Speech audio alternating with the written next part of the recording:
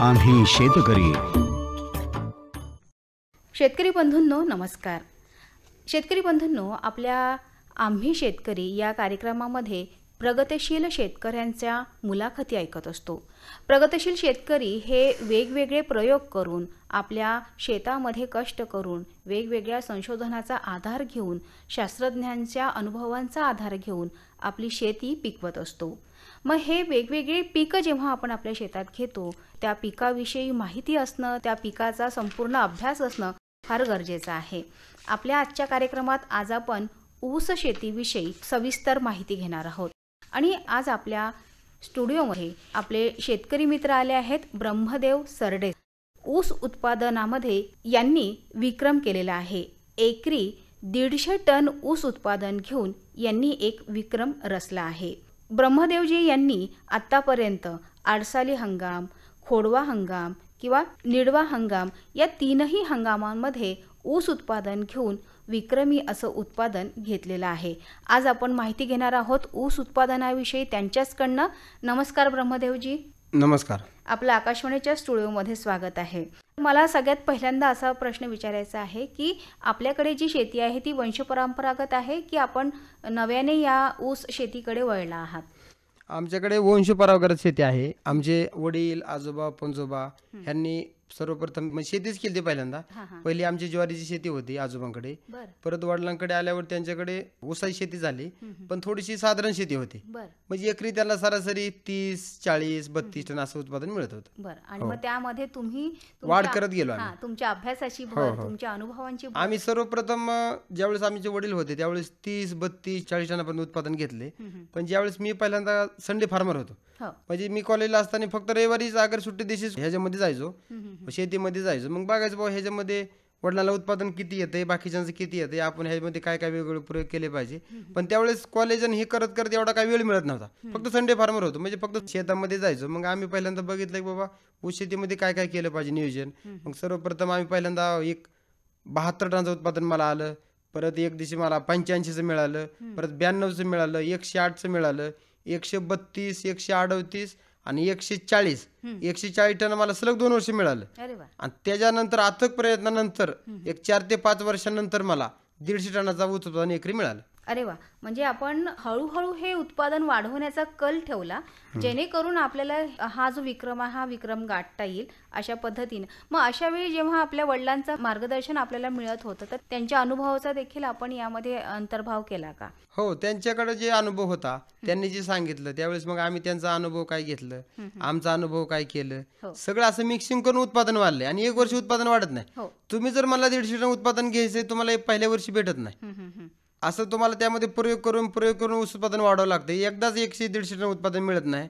तुम्हाला असं आमचं कसं वाढलं? बहात्तर टनापासून मी घेतलं. हो. त्या दीडशे टनापर्यंत घेतलं म्हणजे डबल उत्पादन वाढलं माझं. पहिल्या वर्षीचे बहात्तर टन घेतलं वडिलांचे काय थोडंसं ज्ञान आजोबांचे काय माझे काय आकाशवाणीचे आम्ही कार्यक्रम ऐकत होतो. आम्ही सर्वप्रथम आकाशवाणीची कॉमेंट्री ऐकायचो क्रिकेटची. पण आम्ही असेच क्रिकेटची कॉमेंट्री ऐकत ऐकत शेतीचे पण कार्यक्रम ऐकले आकाशवाणीचे. आणि त्यातून आम्हाला ज्ञा- ज्ञानामध्ये भर मिळाली. वडिलांचं काय आजोबाचं काय शेजाऱ्या पाजाऱ्यांचं काय असं मिळून आम्हाला सगळ्यांचं मार्गदर्शन लाभले. बरोबर.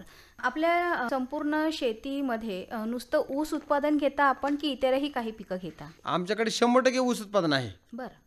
जेवढं आमचं स्वतःचं पाच एकर क्षेत्र आहे पाच एकरावर तुम्हाला ऊस बघायला मिळेल. त्यामध्ये फक्त दुसरं पीक घेतलं जातं कोथिंबीर आणि हिरवळीची पिकं तागू द्यायच्या. बरं. हो. अच्छा आणि धान्य प्रकारामध्ये आपण कुठल्या पद्धतीचं पीक घेत नाही? नाही धान्य प्रकारामध्ये घेत नाही. आजोबा आमचे घेत होते ज्वारी बाजरी वगैरे घेत होते पण आता ज्वारी आम्ही विकत आणतो आणि ऊस कारखान्याला देतो आम्ही. अच्छा. हो. साधारण आपल्याला या ऊस शेतीतनं किती उत्पन्न मिळतं?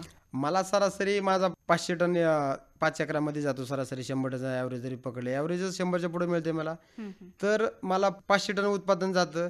ह्या वर्षी आम्हाला जवळजवळ तीन हजार रुपये बाजारावर मिळाला. म्हणजे पंधरा लाख रुपये आम्हाला ऊस राहतात म्हणजे मिळतात. त्यातून जर खर्च आमचा पकडला तर खर्च सरासरी दोन ते अडीच लाख रुपये आहे. दोन लाख रुपये आमचा खर्च आहे. तेरा लाख रुपयाचं निव्वळ ऊस उत्पादन मला वर्षाला होतं. अरे वा. हो. आणि मग आता जसं मी सुरुवातीला म्हटलं की आडसाली ऊस आहे खोडवा ऊस आहे निवडा ऊस आहे तर या तीनही हंगामामध्ये आपण ऊस घेता तर याचं नियोजन कसं करता? आता तुम्ही पहिल्यांदा सर्वप्रथम लागवड केली. लागवड केली अडचणीची अडचणी लागवड एकदा गेली की दुसरा तुमचा ऊस असतो खोडवा. तिसरा ऊस असतो तुमचा निडवा. हं. आडसाली झाला की त्याला सुरू म्हणतात. तो तुटून गेला एकदा तुटून गेला की दुसरा जो ऊस राहतो त्याला खोडवा म्हणतात. हो. आणि तिसऱ्यांदा तुटून जायचं त्याला निडवा म्हणतात. हो. म्हणजे अशा ऊसामध्ये तीन प्रकार आहेत. आडसाली सुरू खोडवा आणि निडवा. हो. आणि याचं मग नियोजन कसं तुम्ही आपल्या शेतामध्ये राखता? नियोजन कसं आहे आडसालीला जास्त खत लागतं. खोडव्याला थोडंसं खोडव्याला काय आडसालीला तुम्हाला लागवड करावं लागते. हो. खोडव्याला तुम्हाला लागवड करावं लागते तीच ऊस फुटून येतो. हो. निडव्याला बी तीच ऊस फुटून येतो. परत तुम्हाला खोडव्याला निडव्याला ऊसाची हे करायची आवश्यकता नाही. म्हणजे तुम्हाला सरी काढावं लागत नाही ऊस लावावं लागत नाही बाकीचं काय करावं लागत नाही. फक्त आडसालीमध्ये तुम्हाला नवीन ऊस लावावा लागतो सरी काढावं लागते. पूर्व मशागत करावं लागते. तर दुसऱ्या ऊसा निडवान खोडव्यामध्ये तुम्हाला पूर्व मशागत करावं लागत नाही. त्यामध्ये फक्त छोटी बांधणी आणि मोठी बांधणी. छोटी बांधणी तीन महिन्यानंतर मोठी बांधणी चार महिन्यानंतर करावी लागते. बरोबर हो. आता जेव्हा बांधणी करायची आहे आपल्या ऊस शेतीमध्ये तर त्यासाठी काही वेगळ्या पद्धतीचं नियोजन आहे का हो बांधणी करायची असेल तुम्हाला तर त्यामध्ये आम्ही पहिल्यांदा ऊसाच्या बुडामध्ये खत टाकतो आणि नंतर त्यामध्ये पॉवर टिलरने बांधणी करतो कारण अगोदर बैलाने वगैरे बांधणी होत होती पण आता बैलच बघायला मिळत नाही हो. आता आमच्याकडे तर आमचा आजोबाला चाळीस बैल होती. आमच्या वडिलांना दोन बैल होती पण मला तर बैलच नाहीत त्याच्यामुळे आम्ही आता सगळे यंत्रिकरण ऊसामध्ये वापरतोय. आम्ही त्यामध्ये फ- छोटा पॉवर टिलर आहे. तर त्यामध्ये आम्ही ब- ऊसाच्या बुडात खत टाकतो आणि वरून लगेच माती लावतो. म्हणजे हवेतून तुमचं ऊस जे खत उडून जाते जात नाही. आणि नंतरची खत आम्ही सगळी ड्रिप सिंचनाद्वारे देतो ठिबक सिंचनाद्वारे. अच्छा. हो. यांत्रिकीकरणानं आपण ऊस शेती करत आहात असं म्हणालात तर या यांत्रिकीकरणाची जी शेती आहे यासाठी काही आपण मार्गदर्शन घेतलंय का कुठल्या संस्थेकडनं किंवा आणखी कुठल्या एखाद्या अ, शास्त्रज्ञांकडनं? कोणाचं मार्गदर्शन घेतलं? आम्ही वसंतदादा शेगुर इन्स्टिट्यूट मांजरे बुद्रुक पुणे. ह्यांचं मार्गदर्शन घेतलं मध्यवर्ती संशोधन केंद्र पाडेगाव यांचं मार्गदर्शन घेतलं परत लखनौला केंद्रीय संशोधन केंद्र आहे. तिथं पण आम्ही गेलो त्यांच्याकडे ऊस शेतीमध्ये काय काय यंत्रीकरण वापरलं जातं? तर यंत्रीकरणामध्ये ट्रॅक्टर आहे परत हार्वेस्टर आहे परत बांधणीसाठी पॉवर टिलर आहे परत ऊसावर स्प्रे करायसाठी ते हे आहे. आपलं ठिबक सिंचनातून खतं सोडायसाठी आहे. ठिबक सिंचन हे पण यंत्रीकरण मी समजतो. ठिबक सिंचनाकडून तुम्हाला खतं खाली सोडलं जातं त्याला पण मी यंत्रीकरण समजतो. परत रेनगन आहे. जर उन्हाळ्यामध्ये ऊसाला जास्त हे लागलं तापमान वाढलं तर ऊसासाठी रेनगन पण आहे. रेनगन वापरणे म्हणजे पाऊस पडण्यासारखे आहे. पाईपलाईन तुमची खालून असते फक्त वर मोटर असते. पाऊस पडल्यावर कसं वरनं सगळं टिपकं टिपकं पडतं पावसाचं. तसं त्यामध्ये होतं. त्यामुळे काय होते ते वातावरण मेंटेन केलं जातं. त्यामुळे तुमच्या ऊसाची वाढ थोडी उन्हाळ्यामध्ये सरासरी तीन कांड्या ऊसाच्या जातात महिन्याला. पण जर तुम्ही रेनगन वापरलं तर तुम्हाला महिन्याला पाच पाच कांड्या जातात. ऊसामध्ये पावसाळ्यात ऊसाला पाच कांड्या सुटतात महिन्याला. तर रेनगन वापरले सुद्धा तुम्हाला पाचच कांड्या सुटतात. परत ऊसावर करण्यासाठी स्प्रे आहे. पाठीचा पंप आहे. तुम्ही ऊसामध्ये यांत्रिकरण वापरू शकताय. बरोबर. हो. ब्रह्मदेवजी आपण जेव्हा शेती करता तेव्हा आपल्या कुटुंबाची साथ असणं फार महत्त्वाचे आहे. कारण मुख्य शेती व्यवसाय हाच कुटुंबावर आधारित आहे. तर आपल्या कुटुंबाची साथ कशी मिळते आपल्याला? आता आमच्या शेतीमध्ये बघायला गेलं तर आमचं स्वतःचं जे पाच एकर क्षेत्र आहे म्हणजे वडिलोपार्जित जी आज पाच एकर जमीन मिळाली आहे तर त्या पाच एकरामध्ये आम्ही झिरो बजेट मजुरी आहे आमच्याकडे. बर. आमच्या पाच एकरामध्ये एकही मजूर कामाला लावला जात नाही. स्वतः मी मजुरी करतो म्हणजे मजुरी म्हणजे शेतामध्ये जी सर्व जी कामं आहेत ऊसामधले शंभर टक्के कामं सगळी मी करतो. मला ट्रॅक्टर चालवा येतो बांधणी करायला ट्रॅक्टर चालवा येतो रोटरा येतो नांगरायला रोटरायला परत सरी सोडायला परत ऊसावर स्प्रे मी करतो स्वतः परत रेनगन बी स्वतः मी वापरतो ठिबक सिंचन मीच टाकतो मीच काढतो. त्यामुळे ऊस शेतीमध्ये मला झिरो बजेट मजुरी माझ्याकडे. ऊस शेतीसाठी मला मजुरीसाठी एक रुपया पण खर्च लागत नाही. सर्व कामे मी माझी पत्नी आई आणि दोन छोटी मुलं एक आठ वर्षाचं आहे. आणि एक पाच वर्षाचं आहे. ती पण थोडी थोडी कुठं खत टाकाय असे किलबिल करतात ते बी आम्हाला त्याचा फायदा होतो अरे वा हो. छान. म्हणजे संपूर्ण कुटुंब मिळून आपण हो, ऊस हो. शेती करतो असं म्हणायला हरकत हो. नाही. बऱ्याचदा काय होतं की जेव्हा ऊस शेतीसाठी आपलं शेत आपण निवडलं आहे तर अ, अनेक कीड आणि रोगांचा प्रादुर्भाव होऊ शकतो. तर अ, तो होऊ नये किंवा झालाच तर आपण त्यासाठी काय नियोजन केलं पाहिजे? तर ऊस शेतीमध्ये तुम्ही जर समजा बघायला गेलं तर तुमचं पन्नास टक्के तीस टक्के चाळीस टक्के शेतकरी असं आम्हाला सांगतात. की आमच्या ऊसावर लोकरी मावा आला आमच्याला पक्का बोईंग आला आमचं कुठं हुमणी लागली कुठं हे झालं ते झालं असे वेगवेगळे रोग वगैरे आहेत. हे दहा ते पंधरा रोग आहेत ॲक्च्युली तर सांगतात खोडकिड आला कुठं काय झालं तर आमचे तीस टक्के चाळीस टक्के पन्नास टक्के ऊसाचं उत्पादन बुडलं. हो. पण मी तुम्हाला सांगतोय माती परीक्षण करा. आणि त्याला तुम्ही ऊसाला जैविक रासायनिक बिन प्रक्रिया करा ठिबक सिंचन वापरा आणि जेवढी माती परीक्षणानुसारच खतं द्या जास्त खतं देऊ नका. हे जर तुम्ही सगळं अवलंबलं तर तुमच्या ऊस शेतीवर कुठलेच रोग येणार नाहीत. खर्च वाचणार आहे आणि तुमचं उत्पादन वाढणार आहे इकडं. त्यामुळे दुहेरी तिहेरी फायदा होते तुम्ही. अशा पद्धतीने शेती केली तर चालतंय. बरोबर. म्हणजे आपण योग्य पद्धतीचं नियोजन आधीच करायला हो, हवं. म्हणजे जेणेकरून रोग आणि किडींचा प्रादुर्भाव आपल्या ऊस शेतीमध्ये होणार नाही. ह्या ज्या रासायनिक खतांचा वापर आपल्याला शेतामध्ये करावा लागतो तर हा कशा पद्धतीने केला पाहिजे? काय वाटतं आपल्याला?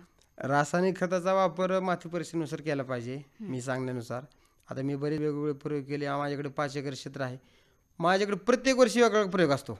ह्या वर्षी वेगळा प्रयोग झाला त्या वर्षी वेगळा प्रयोग झाला. त्याचं मी लिखाण ठेवतो सगळं. तुम्ही ऊस शेतीमध्ये काय काय कामं केलं पहिल्यापासून? लागवडीपासून ते तुमचं बिल येण्यापर्यंत ऊसाचं. तुम्ही कुठली कुठली कामं कुठल्या तारखेला केली? कुठली खतं टाकली काय टाकली? त्या सर्वांचं नियोजन मी माझ्या वहीमध्ये असतं. कशामुळे असतं? किंवा आपण ऊसाला आतापर्यंत खर्च किती केला? एकूण श्रम किती केलं? आणि आपल्याला तेवढं अपेक्षित उत्पादन आलं का? आपल्याकडून कुठली चूक राहिली? बाकीचं तंत्रज्ञान व्ही एस आयचं आहे पाडेगावचं आहे. त्यांचं तंत्रज्ञान कसं आहे? आपलं तंत्रज्ञान कसं आहे? की जेणेकरून शेतकऱ्याला फायदा झाला पाहिजे. तुमच्याकडे तंत्रज्ञान आहे पण शेतकऱ्याला फायदा होत नाही. तुमच्या तंत्रज्ञानाचा शून्य उपयोग. हो. तुमच्याकडे जे तंत्रज्ञान आहे त्याचा जर शेतकऱ्याला फायदा होत असेल तर शेतकरी सुजलाम सुफलाम झाल्याची राहणार नाही. हो. छान. म्हणजे अशा पद्धतीने जर का आपण आपलं सगळं नियोजन केलं तर आपण अगदीच सुजलाम सुफलाम अशी शेती करू शकतो. ब्रह्मदेवजी तुमच्या आयुष्यातला हे एकच ध्येय आहे का की आपण पुढे जाऊन ऊस शेतीतच कार्य करावं आणि त्यातच आपली प्रगती साधावी? आता तसं पाहायला गेलं तर लोक काय म्हणतात कुछ पाणी पाने कुछ खोना पडता आहे तसं जर बघायला गेलं तर असं चुकीचं आहे. कुछ पाने केले कुछ खोना नाही बल्कि गन्ना बोना पडत आहे माझं हे दे माझं आतापर्यंत हे की ऊस शेतीमध्ये मी आता थोड्या दिवसामध्ये एकरी दोनशे टनाचा प्लॉट मी करतोय. आणि तो प्लॉट पूर्ण लाईव्ह करतोय शेतकऱ्यांना. शेतकरी जर कुठं असेल सातारा सांगली मुंबई पुणे कुठं असेल शेतकरी त्याला घरी बसून प्लॉट बघायला मिळाला पाहिजे. ह्यांचा प्लॉट कसा आहे? प्रत्येक महिन्याला आम्ही त्यातून लाईव्ह करणार फेसबुक लाईव्ह. तिथून ते शेतकऱ्याला दिसणार. आमच्याकडे व्हॉट्सअप ग्रुप आहेत शेतीचे. माझ्याकडे जवळजवळ दोनशे व्हॉट्सअप ग्रुप आहे शेतीचे. प्रत्येक ग्रुपला कमेंट येतात. किंवा आमचा असा असा ऊस आहे आम्ही कुठलं सोडू? कमेंट वाचल्यापासून त्याला त्वरित मी स्वतः देतो त्याला उत्तर. की तुम्ही हे वापरा ते वापरा. आणि प्रत्येक महिन्याला आम्ही त्या शेतकऱ्याला सांगतो बाबा ह्या महिन्यामध्ये कुठल्या शेतीमध्ये काम करायचे. काही काही शेतकरी असे आहेत. आमच्याशी त्यांचा काही संपर्क होत नाही. फक्त ते कमेंट वाचतात. की ह्या महिन्यामध्ये कुठले काम करा तेवढीच काम करतात. त्या पद्धतीने शेतकऱ्यांचे उत्पादन वाढतात. आम्हाला शेतकऱ्यांचे फोन येतात. मला काही शेतकऱ्यांचे मेसेज येतात. साहेब तुमचं उत- तंत्रज्ञान आम्ही वापरलं. तर आमचं उत्पादन एकशे तीस एकशे बत्तीस टन उत्पादन एकरी आलं. पण उत्पादन तर वाढलंच आमचं पण खर्च पण कमी झाला आमचा. असे पण शेतकऱ्यांचे ज्यावेळेस आम्हाला कमेंट येतात फोन येतात त्यावेळेस सर्वस्वी आनंद आम्हाला तेव्हा होतो. अच्छा. हो. आपण म्हणालात की व्हॉट्सअपचे ग्रुप आपण चालवता. तर हे शेतकऱ्यांना मार्गदर्शनासाठीच आपण हे व्हॉट्सअपचे ग्रुप चालवता? त्याच्यामध्ये संपूर्ण ऊस शेती मार्गदर्शन. बरं. ब्रह्मदेव सरडे ऊस भवन. आणि ऊस बँक असे दोन ग्रुप आहेत आमचे. बरं. बँकेमध्ये कसं चालतं? तुम्हाला त्यातून तुम्हाला कर्ज बी मिळते हो. पैसे टाकता येतात सोनं ठेवता येते. पैसे पाठवता येतात. तुम्हाला त्यामध्ये एफ डी आर डी बिरडी वगैरे सगळे करता येतात. तसं आमचं ऊस भवन शेतकरी बँक म्हणून आमचं एक ग्रुप आहे त्यामध्ये तुम्ही कुठलं बी तुम्ही मागणी करा ब- बियाणं कसं पाहिजे त्वरित तुम्हाला मेसेज मिळेल. बियाणं असं वापरा खतं असं वापरा. तुम्हाला परत लागवड कशी करायची पूर्व मशागत कशी करायची बेणे प्रक्रिया कशी करायची बेणे निवड कशी करायची तुम्हाला जो प्रश्न असेल तुम्ही तिथं टाकताल कमेंटला. त्याचं उत्तर तुम्हाला मिळेल. म्हणजे ही एक प्रकारची बँकच आहे. हो हो. पैसे काढा टाका काही करा फक्त तिथं कमेंट टाका तुम्ही. कुठली लालसा नाही कुठली अपेक्षा नाही काय नाही. फक्त शेतकरी ऊस शेतकरी सुजलाम सुफलाम झाला पाहिजे एवढीच फक्त अपेक्षा. अच्छा. काही प्रत्यक्षात देखील शेतकऱ्यांना आपण मार्गदर्शन करता का? जसं की मेळावा आहे किंवा एखादा काही चर्चासत्राचा कार्यक्रम आहे. तर या कार्यक्रमांमध्ये प्रत्यक्षात देखील आपण जाता का? प्रत्येक ठिकाणी मी शेतकऱ्याला मार्गदर्शन करतो. कुठले कार्यक्रम असेल ऊस शेतीचा चर्चासत्र असेल मार्गदर्शन असेल ऊस शेतीचं त्यावेळेस मी तिथं जातो कृषी प्रदर्शनामध्ये जातो मी मोफत मार्गदर्शन करतो. मला जर कुठल्या संस्थेचा कुठल्या ह्याचा फोन आला की बा तुमची वेळ आहे का? माझ्याकडे वेळ आहे. पण शेतकऱ्यासाठी असेल तर. स्वतःचा कोणाचा स्वार्थ असेल तर माझ्याकडे वेळ नाही. पण जर शेतकऱ्याचा जिथं फायदा होत असेल दहा शेतकरी असू द्या माझं असं म्हणणं आहे की मी दोन हजारच्या पुढे शेतकऱ्याला मार्गदर्शन करतो. दोन शेतकरी असू द्या नाही तर पाच हजार शेतकरी असू द्या मी शेतकऱ्याला मार्गदर्शन मोफत करतो. हो. खूपच छान उपक्रम आहे आपल्या भविष्यातल्या काय योजना आहे मी पूर्णपणे ऊस शेतीमध्ये झोकून देऊन काम करतो. की बाबा आता काय काय शेतकरी नुसते शेती करायची म्हणून शेती करतात. हो. आता शेती शेतकऱ्याचे तीन प्रकार आहेत. एक उतारावरील शेतकरी एक बांधावरील शेतकरी आणि एक शेतीतला शेतकरी. बरं. तीन प्रकारचे शेतकऱ्याचे. हां. काय काय शेतकरी नुसते उताराव आहेत? त्यांच्याकडे फक्त उताराव जमीन आहे. पाच एकर दोन एकर. काय काय शेतकरी आहेत? नुसते बांधावर शेतकरी आहेत. आणि काय काय शेतकरी आहे ते कष्टकरी शेतकरी. शेतकरी कष्टकरीच पाहिजे. मुख्य जो आपण मुख्य जो आहे तो कष्ट. म्हणजे बांधावरील उत्तावरील आणि कष्टकरी शेतकरी. तीन प्रकार आहेत. त्यामुळे मी जी शेतीमध्ये काम करतो पूर्णपणे ऊसामध्ये झोकून देऊन काम करतो. त्यामध्ये शेतकऱ्यांना मी आता आता असं मी नियोजन केलेलं आहे की पेरू देशाचं जे उत्पादन आहे एकरी पंचावन्न टन सरासरी. तर भारताच्या शेतकऱ्यांचं एकरी सरासरी साठ टन उत्पादन मी घेतो सरासरी शेतकऱ्याचं. जगामध्ये सर्वाधिक ऊस उत्पादन कुठल्या देशाचं आहे? तर ते भारत देशाचं असेल भविष्यामध्ये. त्यांचं जे पंचावन्न टन आहे आपलं साठ पासष्ट सत्तर टनापर्यंत आम्ही घेतोय की जेणेकरून त्यांनी जरी वाढवलं पंचावन्न साठ केलं साठ ते सत्तर टनापर्यंत आम्ही चालेल नियोजन करायचं. हो. तुमच्या ह्या ज्या योजना आहेत त्या योजना सफल होऊ देत. आणि आपण जे काही आतापर्यंत कष्ट केले आहेत त्या कष्टांचं चीज होऊ दे बळीराजा सुखी होऊ दे अशा अपेक्षा व्यक्त करूया. आपण आमच्याशी ही मनमोकळी बातचीत केली त्यासाठी आकाशवाणीच्या वतीनं मी खूप खूप आभार व्यक्त करते. धन्यवाद. धन्यवाद.